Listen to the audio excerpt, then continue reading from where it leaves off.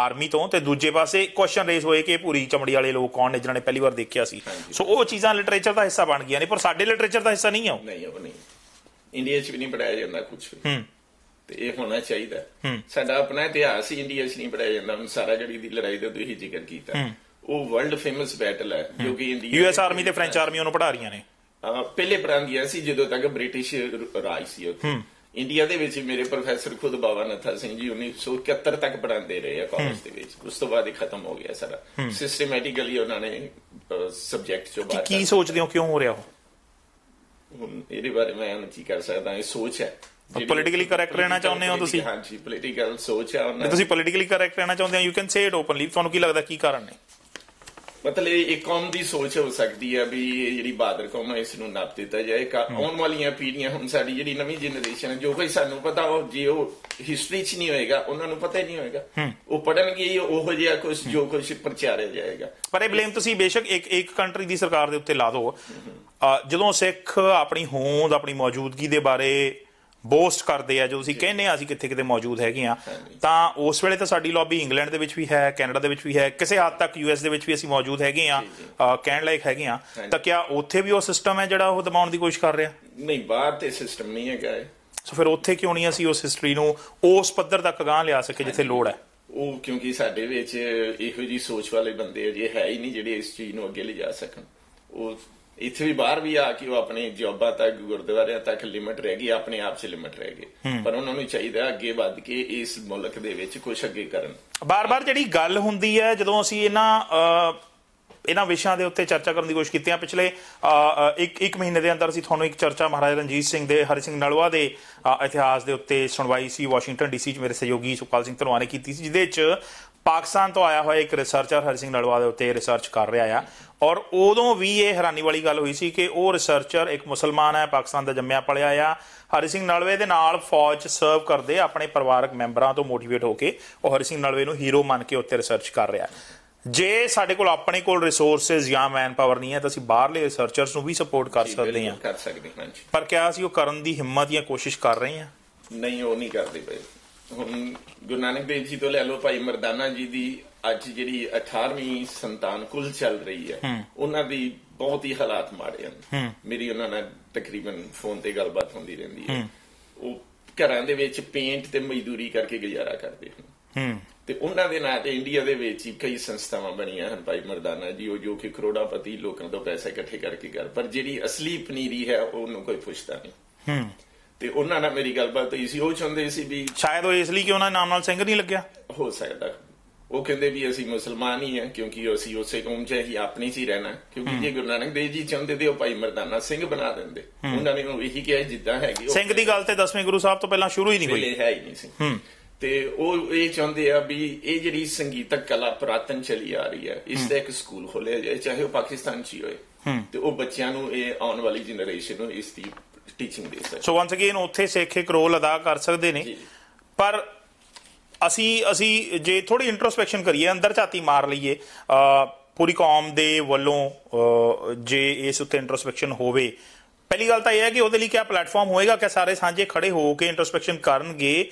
Biggest question big biggest question ਇਹ ਕਿਉਂਕਿ ਇਹ ਆਪਸ 'ਚ ਹੀ ਨਹੀਂ ਇਕੱਠੇ ਹੁੰਦੇ ਤੇ ਅੱਗੇ ਕਿੱਦਾਂ ਚੱਲਣਾ ਹਾਂ ਸੋ ਸਵਾਲ ਇਹੋ ਹੀ ਆ ਕਿ ਅਸੀਂ ਇਹਨਾਂ ਖੋਜਾਂ ਦੀਆਂ ਗੱਲਾਂ ਬਹਿ ਕੇ ਅਸੀਂ ਦੋ ਜਣੇ ਜਾਂ ਕੋਈ ਹੋਰ ਕਿਸੇ ਪਲੇਟਫਾਰਮ ਤੇ ਦੋ ਜਣੇ ਜਾਂ ਦਿੱਲੀ ਦੇ ਵਿੱਚ ਇੱਕ ਵਰਲਡ ਪੰਜਾਬੀ ਕਾਨਫਰੰਸ ਹੁੰਦੀ ਹੈ ਉਹਦੇ ਬਹਿ ਕੇ 20 40 ਜਣੇ ਜਾਂ ਫਿਰ ਪੰਜਾਬ ਦੇ ਵਿੱਚ ਯੂਨੀ- ਕਿਸੇ ਹੋਰ ਯੂਨੀਵਰਸਿਟੀ ਵੱਲੋਂ ਕਿਸੇ ਹੋਰ ਥਾਂ ਤੇ ਹੁੰਦੀ ਹੈ ਉੱਥੇ ਕੋਈ ਹੋਰ ਵੱਖਰੇ 40 ਜਣੇ ਇਸ ਬਾਰੇ ਤਬਸਰਾ ਤਾਂ ਕਰ ਸਕਦੇ ਨੇ ਸਾਡੀ ਆਪਣੀ ਪ੍ਰੋਬਲਮ ਕੀ ਹੈ? ਸਾਡੀ ਆਪਣੀ ਗਲਤੀ ਤੇ ਸਾਡੀ ਆਪਣੀ ਗੁਸਤਾਖੀ ਕੀ ਹੈ ਕਿ ਅਸੀਂ ਇੱਕ ਸਟੇਜ ਦੇ ਉੱਤੇ ਇਕੱਠੇ ਨਹੀਂ ਹੋ ਪਾ ਰਹੇ? ਪਰ ਮੇਰਾ ਸਵਾਲ ਇਹ ਹੈ ਕਿ ਸਟੇਜ ਦੇ ਉੱਤੇ ਇਕੱਠੇ ਨਾ ਹੋ ਸਕਣਾ ਦੋ ਜਾਂ ਤਿੰਨ ਅੱਡ-ਅੱਡ ਸਿਆਸੀ ਪਾਰਟੀਆਂ ਦੇ ਪਰਸਨਲ ਏਜੰਡੇ ਦਾ ਕਾਰਨ ਤਾਂ ਹੋ ਸਕਦਾ ਆ। ਜੀ।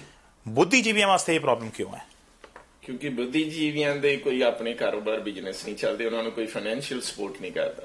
ਇਸ ਕਰਕੇ ਉਹ ਜਿਹੜੇ ਬੁੱਧੀਜੀਵੀ ਵੀ ਹੁੰਦੇ ਉਹ ਜਿੱਥੋਂ ਤੱਕ ਉਹਨਾਂ ਦੀ ਪਹੁੰਚ ਹੁੰਦੀ ਉਹ ਇੱਕ ਟੌਪਿਕ ਲੈ ਕੇ ਉੱਥੋਂ ਤੱਕ ਕਰਕੇ ਬੈਠ ਜਾਂਦੇ ਆ। ਅੱਗੇ ਸੋਚਦੇ ਜ਼ਰੂਰ ਆ ਵੀ ਇਹ ਕਰਾਂ ਪਰ ਉਹਨਾਂ ਨੂੰ ਕੋਈ ਹੈਲਪ ਨਹੀਂ ਮਿਲਦੀ। ਤੁਹਾਨੂੰ ਇਹ ਲੱਗਦਾ ਕਿ ਸਿੱਖਾਂ ਦੀ ਜਾਂ ਪੰਜਾਬੀਆਂ ਦੀ ਜਿਹੜੀ ਇੰਟੈਲੈਕਚੁਅਲ ਕਲਾਸ ਹੈ ਜੀ। ਉਹ ਪੋਲਿਟਿਸਾਈਜ਼ ਹੋਈ ਹੈ ਜਾਂ ਮਜਬੂਰੀ ਵਾਸ ਉਹਨਾਂ ਨੂੰ ਪੋਲਰਾਈਜ਼ ਹੋਣਾ ਪੈ ਰਿਹਾ? ਮਜਬੂਰੀ ਵਸ ਹੋ ਰਿਹਾ। ਹੂੰ। ਹਾਂਜੀ। ਤੁਸੀਂ ਤੁਸੀਂ ਉਹਦੀ ਕੰਟਰਡਿਕਸ਼ਨ ਜੇ ਤੁਸੀਂ ਹੋਰ ਕਮਿਊਨਿਟੀਜ਼ ਨੂੰ ਦੇਖੋ ਜਿਊਜ਼ ਨੂੰ ਦੇਖੋ ਕ੍ਰਿਸਚੀਅਨਸ ਨੂੰ ਦੇਖੋ ਤਾਂ ਕੀ ਪੋਜ਼ਿਟਿਵਸ ਦੇਖਿਓ ਜਿਹੜੇ ਸਾਡੇ ਕੋਲ ਹੋਣੇ ਚਾਹੀਦੇ ਨੇ?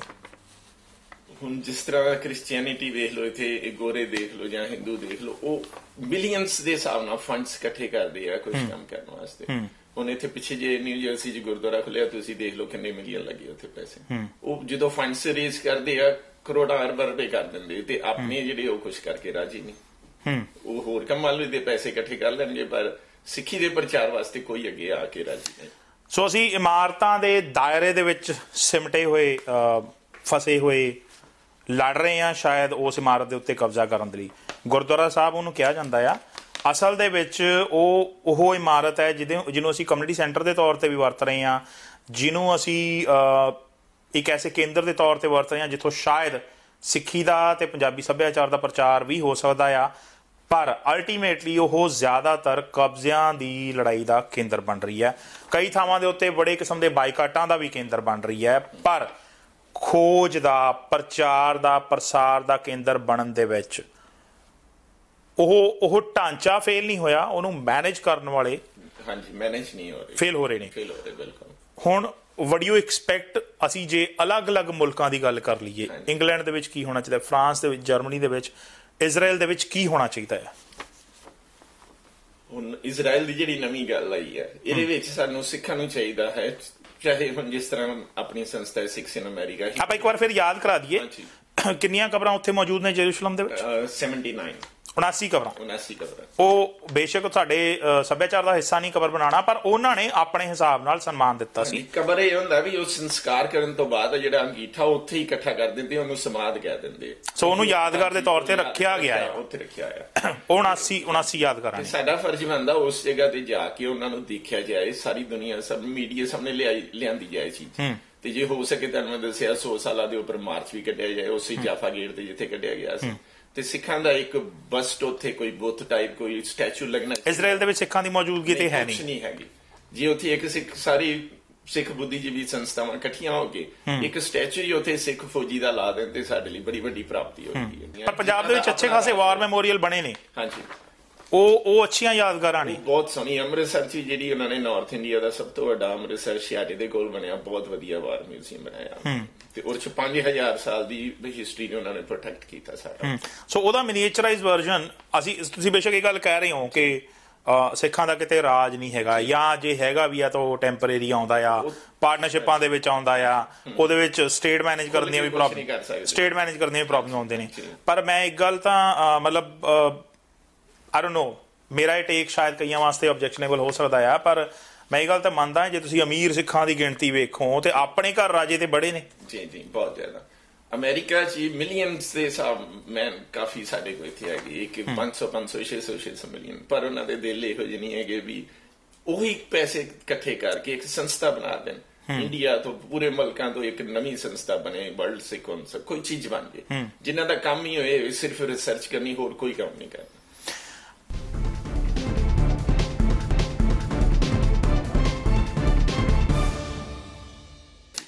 ਸੋ ਅਸੀਂ ਇਮਾਰਤਾਂ ਦੇ ਦਾਇਰੇ ਦੇ ਵਿੱਚ ਸਿਮਟੇ ਹੋਏ ਫਸੇ ਹੋਏ ਲੜ ਰਹੇ ਆ ਸ਼ਾਇਦ ਉਸ ਇਮਾਰਤ ਦੇ ਉੱਤੇ ਕਬਜ਼ਾ ਕਰਨ ਦੇ ਲਈ। ਗੁਰਦੁਆਰਾ ਸਾਹਿਬ ਉਹਨੂੰ ਕਿਹਾ ਜਾਂਦਾ ਆ, ਅਸਲ ਦੇ ਵਿੱਚ ਉਹ ਉਹ ਇਮਾਰਤ ਹੈ ਜਿਹਦੇ, ਜਿਹਨੂੰ ਅਸੀਂ ਕਮਿਊਨਿਟੀ ਸੈਂਟਰ ਦੇ ਤੌਰ ਤੇ ਵੀ ਵਰਤ ਰਹੇ ਆ ਜਿਹਨੂੰ ਅਸੀਂ ਇੱਕ ਐਸੇ ਕੇਂਦਰ ਦੇ ਤੌਰ ਤੇ ਵਰਤ ਰਹੇ ਆ ਜਿੱਥੋਂ ਸ਼ਾਇਦ ਸਿੱਖੀ ਦਾ ਤੇ ਪੰਜਾਬੀ ਸੱਭਿਆਚਾਰ ਦਾ ਪ੍ਰਚਾਰ ਵੀ ਹੋ ਸਕਦਾ ਆ। ਪਰ ਅਲਟੀਮੇਟਲੀ ਉਹ ਜ਼ਿਆਦਾਤਰ ਕਬਜ਼ਿਆਂ ਦੀ ਲੜਾਈ ਦਾ ਕੇਂਦਰ ਬਣ ਰਹੀ ਹੈ। ਕਈ ਥਾਵਾਂ ਦੇ ਉੱਤੇ ਬੜੇ ਕਿਸਮ ਦੇ ਬਾਈਕਾਟਾਂ ਦਾ ਵੀ ਕੇਂਦਰ ਬਣ ਰਹੀ ਹੈ ਪਰ ਖੋਜ ਦਾ ਪ੍ਰਚਾਰ ਦਾ ਪ੍ਰਸਾਰ ਦਾ ਕੇਂਦਰ ਬਣਨ ਦੇ ਵਿੱਚ ਉਹ ਉਹ ਢਾਂਚਾ ਫੇਲ ਨਹੀਂ ਹੋਇਆ ਉਹਨੂੰ ਮੈਨੇਜ ਕਰਨ ਵਾਲੇ ਹਾਂਜੀ ਮੈਨੇਜ ਨਹੀਂ ਹੋ ਰਹੀ। ਫੇਲ ਹੋ ਰਹੇ ਨੇ। ਫੇਲ ਹੋ ਰਹੇ ਬਿਲਕੁਲ। ਹੁਣ ਵਡੀਓ ਐਕਸਪੈਕਟ ਅਸੀਂ ਜੇ ਅਲੱਗ-ਅਲੱਗ ਮੁਲਕਾਂ ਦੀ ਗੱਲ ਕਰ ਲਈਏ ਇੰਗਲੈਂਡ ਦੇ ਵਿੱਚ ਕੀ ਹੋਣਾ ਚਾਹੀਦਾ ਫਰਾਂਸ ਦੇ ਵਿੱਚ ਜਰਮਨੀ ਦੇ ਵਿੱਚ ਇਜ਼ਰਾਈਲ ਦੇ ਵਿੱਚ ਕੀ ਹੋਣਾ ਚਾਹੀਦਾ ਹੈ? ਹੁਣ ਇਜ਼ਰਾਈਲ ਦੀ ਜਿਹੜੀ ਨਵੀਂ ਗੱਲ ਆਈ ਹੈ ਇਹਦੇ ਵਿੱਚ ਸਾਨੂੰ ਸਿੱਖਣ ਨੂੰ ਚਾਹੀਦਾ ਹੈ ਚਾਹੇ ਹੁਣ ਜਿਸ ਤਰ੍ਹਾਂ ਆਪਣੀ ਸੰਸਥਾ ਹੈ ਸਿਕਸ ਇਨ ਅਮਰੀਕਾ ਆਪਾਂ ਇੱਕ ਵਾਰ ਫਿਰ ਯਾਦ ਕਰਾ ਦਈਏ। ਕਿੰਨੀਆਂ ਕਬਰਾਂ ਉੱਥੇ ਮੌਜੂਦ ਨੇ ਜੈਰੂਸ਼ਲਮ ਦੇ ਵਿੱਚ?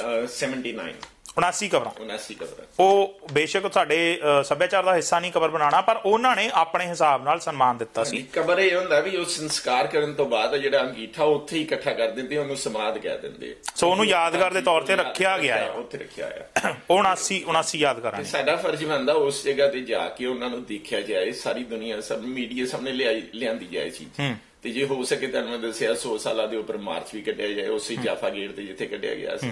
ਤੇ ਸਿੱਖਾਂ ਦਾ ਇੱਕ ਬਸਟ ਉੱਥੇ ਕੋਈ ਬੁੱਤ ਟਾਈਪ ਕੋਈ ਸਟੈਚੂ ਲੱਗਣਾ ਇਜ਼ਰਾਈਲ ਦੇ ਵਿੱਚ ਸਿੱਖਾਂ ਦੀ ਮੌਜੂਦਗੀ ਤੇ ਹੈ ਨਹੀਂ। ਨਹੀਂ ਹੈਗੀ। ਜੇ ਉੱਥੇ ਇੱਕ ਸਿੱਖ ਸਾਰੀ ਸਿੱਖ ਬੁੱਧੀਜੀਵੀ ਸੰਸਥਾਵਾਂ ਇਕੱਠੀਆਂ ਹੋ ਕੇ ਇੱਕ ਸਟੈਚੂ ਹੀ ਉੱਥੇ ਸਿੱਖ ਫੌਜੀ ਦਾ ਲਾ ਦੇਣ ਤੇ ਸਾਡੇ ਲਈ ਬੜੀ ਵੱਡੀ ਪ੍ਰਾਪਤੀ ਹੋਈ ਹੈ। ਤਾਂ ਇੱਕ ਇੱਕ ਜੈਨਰਿਕ ਫੇਸ ਇੱਕ ਸਿੱਖ ਦਾ ਚਿਹਰਾ ਹੋਣਾ ਚਾਹੀਦਾ। ਜਿਹੜਾ ਨਾਲ ਥੋੜਾ ਜਿਹਾ ਇਨਫੋਰਮੇਸ਼ਨ ਦਵੇ ਕਿ ਸਿੱਖ ਕੀ ਹੈ ਤੇ ਉਹ ਫੌਜੀ ਕੀ ਸਨ। ਉਹ ਇੱਕ ਯਾਦਗਾਰ ਕ੍ਰੀਏਟ ਹੋ ਸਕਦੀ ਇਜ਼ਰਾਈਲ ਦੇ ਵਿੱਚ। ਤੇ ਹੋਰ ਮੁਲਕਾਂ ਦੀ ਗੱਲ ਕਰੀਏ ਉੱਥੇ ਤੁਹਾਨੂੰ ਕਈ ਥਾਵਾਂ ਤੇ ਉੱਥੇ ਐਫਰਟਸ ਹੁੰਦੇ ਨਜ਼ਰ ਵੀ ਆਉਂਦੇ ਨੇ। ਇਦਾਂ ਨਹੀਂ ਹੈ ਕਿ ਬਿਲਕੁਲ ਕੁਝ ਨਹੀਂ ਹੋ ਰਿਹਾ। ਇੰਗਲੈਂਡ ਦੇ ਵਿੱਚ ਮੌਜੂਦ ਸਿੱਖਾਂ ਨੇ ਬਹੁਤ ਕੋਸ਼ਿਸ਼ਾਂ ਕੀਤੀਆਂ ਨੇ ਔਰ ਬਹੁਤ ਕੋਸ਼ਿਸ਼ਾਂ ਜਾਰੀ ਵੀ ਨੇ। ਥੋੜਾ ਜਿਹਾ ਜਾਣਕਾਰੀ ਦੇ ਸਕਦੇ ਹੋ ਕੀ ਕੁਝ ਹੋ ਰਿਹਾ? ਇੰਗਲੈਂਡ ਵੀ ਪਿੱਛੇ ਜੇ ਉਹਨਾਂ ਨੇ ਇੱਕ ਛੋਟਾ ਜਿਹਾ ਸਟੈਚੂ ਲਾਇਆ ਸੀ ਬਸ ਉੱਥੇ ਵੀ ਲੱਗਾ ਸੀ। ਹੂੰ। ਉਹ ਵੀ ਜ਼ਾਤੀ ਤੌਰ ਤੇ ਹੋਈ ਕੋਸ਼ਿਸ਼ ਦਾ ਹਿੱਸਾ ਜਾਤੀ ਤੌਰ ਤੇ ਕੋਸ਼ਿਸ਼ ਕੀਤੀ ਤਾਂ ਲੱਗਾ। ਹੂੰ।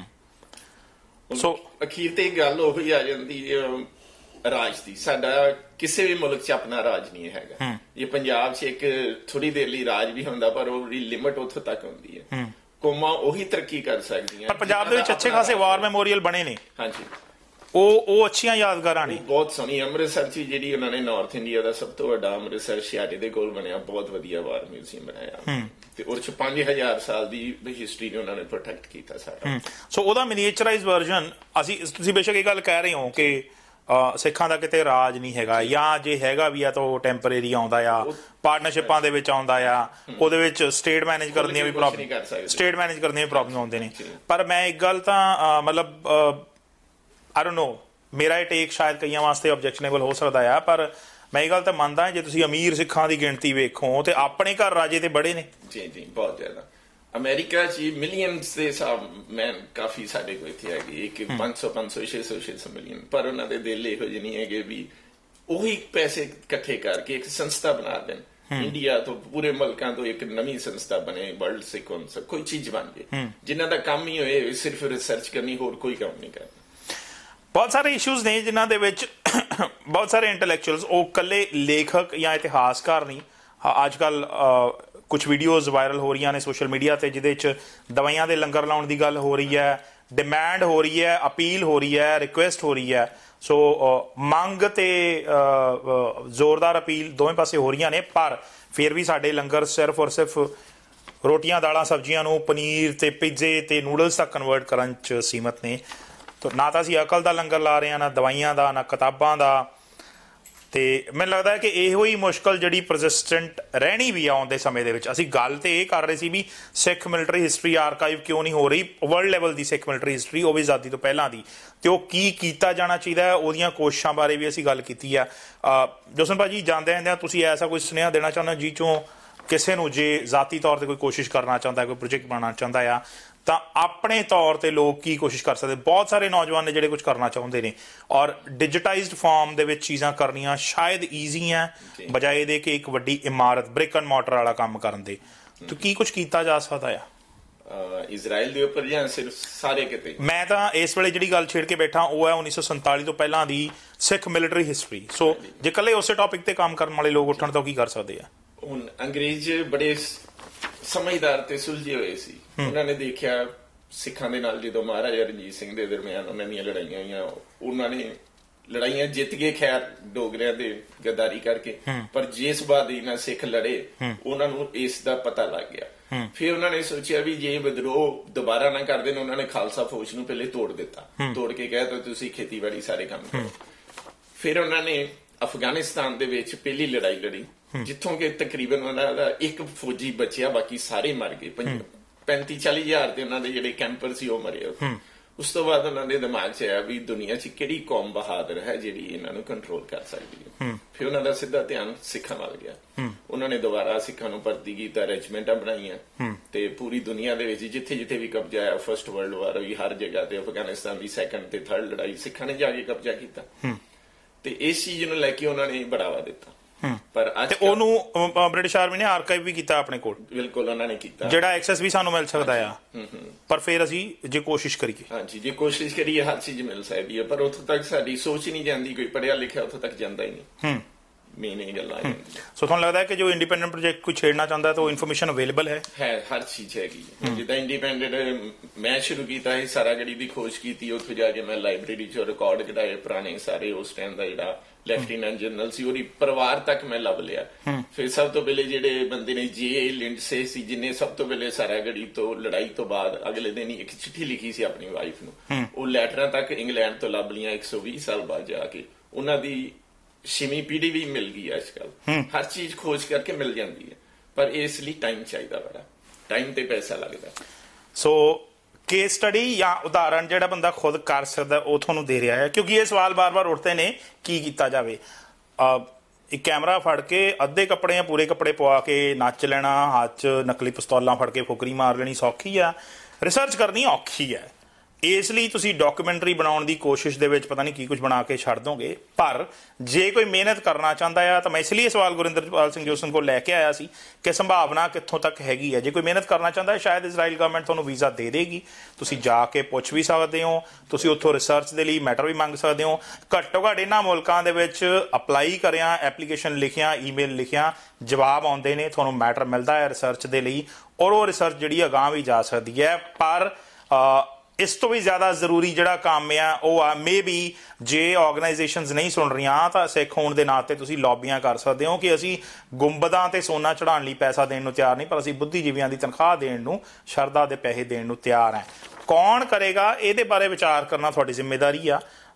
ਮੈਂ ਤੁਹਾਨੂੰ ਗਾਈਡੈਂਸ ਨਹੀਂ ਦੇ ਸਕਦਾ, ਮੈਂ ਸੁਜੈਸ਼ਨ ਜ਼ਰੂਰ ਦੇ ਸਕਦਾ ਕਿ ਜਦੋਂ ਤੱਕ ਬੜੀ ਪੁਰਾਣੀ ਸਾਡੀ ਕਹਾਵਤ ਹੈ ਕਿ ਜਿਹੜੀਆਂ ਕੌਮਾਂ ਇਤਿਹਾਸ ਨੂੰ ਭੁੱਲ ਜਾਂਦੀਆਂ ਨੇ ਉਹ ਰੁਲ ਜਾਂਦੀਆਂ ਨੇ। ਅਸੀਂ ਉਹਦੇ ਨਾਲ ਜੁੜੀਆਂ ਹੋਈਆਂ ਬਹੁਤ ਗੱਲਾਂ ਕਹਿੰਦੇ ਹਾਂ ਬਹੁਤ ਗੀਤ ਗਾਏ ਜਾਂਦੇ ਨੇ ਲਿਖੇ ਜਾਂਦੇ ਨੇ। ਪਰ ਜੇ ਤੁਸੀਂ ਅਗਾਹ ਦੀਆਂ ਚੁਣੌਤੀਆਂ ਦੀ ਗੱਲ ਕਰਦੇ ਹੋ ਕਿ ਸਾਡੇ ਬੱਚੇ ਸਾਡੇ ਨਾਲ ਨਹੀਂ ਜੁੜ ਰਹੇ ਸਾਡੇ ਧਰਮ ਨਾਲ ਵਿਰਸੇ ਨਾਲ ਨਹੀਂ ਜੁੜ ਰਹੇ ਤਾਂ ਉਹਦਾ ਕਾਰਨ ਸ਼ਾਇਦ ਇਹੀ ਹੈ ਕਿ ਉਹਨਾਂ ਨੂੰ ਆਪਣੀਆਂ ਰੂਟਸ ਨਹੀਂ ਪਤਾ ਤੇ ਉਹ ਰੂਟਸ ਦੇ ਬਾਰੇ ਐਕਸਪਲੋਰੇਸ਼ਨ ਵੀ ਨਹੀਂ ਹੋ ਰਹੀ। ਸੋ ਆਈ ਹੋਪ ਉਹ ਐਕਸਪਲੋਰੇਸ਼ਨ ਛੇਤੀ ਸ਼ੁਰੂ ਹੋਏਗੀ। ਕੱਲੇ ਇੱਕ ਦੋ ਬੰਦਿਆਂ ਦੇ ਕਰਿਆ ਨਹੀਂ ਹੋ ਸਕਦੀ। ਅ, ਸਾਰਾਗੜ ਦੇ ਉੱਤੇ ਬੁੱਕ ਲਿਖ ਚੁੱਕੇ ਨੇ ਗੁਰਿੰਦਰਪਾਲ ਸਿੰਘ ਜੋਸਨ। ਹੋਰ ਵੀ ਕਿਤਾਬਾਂ ਦੀ ਤਿਆਰੀ ਹੈ। ਅਸੀਂ ਉਹਦੇ ਬਾਰੇ ਵੀ ਤੁਹਾਨੂੰ ਜਾਣਕਾਰੀ ਦਿੰਦੇ ਰਵਾਂਗੇ ਪਰ ਜਿਹੜਾ ਸੁਜੈਸ਼ਨ ਇਹਨਾਂ ਨੇ ਦਿੱਤਾ ਆ ਉਹਦੇ ਤੇ ਧਿਆਨ ਦੇਣਾ ਜ਼ਰੂਰੀ ਹੈ। ਸੋ ਜੋਸਨ ਭਾਜੀ ਇੱਕ ਵਾਰ ਫੇਰ ਬਹੁਤ ਬਹੁਤ ਸ਼ੁਕਰੀਆ। ਠੀਕ ਹੈ। ਅਗਲੀ ਵਾਰ ਆਈ ਹੋਪ ਜਦੋਂ ਤੁਸੀਂ ਦੌੜਾਂ ਲਾਉਣ ਦੀ ਤਿਆਰੀ ਕਰ ਰਹੇ ਹੋ ਜਾਂ ਕਰਾਟੇ ਸਿਖਾਉਣ ਦੀ ਤਿਆਰੀ ਕਰ ਰਹੇ ਹੋ ਉਦੋਂ ਫਿਰ ਸਟੂਡੀਓ ਸੱਦਾ ਦੇਵਾਂਗੇ। ਫਿਲਹਾਲ ਸਾਡੇ ਦਰਸ਼ਕਾਂ ਦਾ ਸਾਡੇ ਨਾਲ ਬਣੇ ਰਹਿਣ ਦੇ ਵਾਸਤੇ ਬਹੁਤ ਬਹੁਤ ਧੰਨਵਾਦ। ਠੀਕ ਹੈ ਜੀ, ਸਤਿ ਸ਼੍ਰੀ ਅਕਾਲ।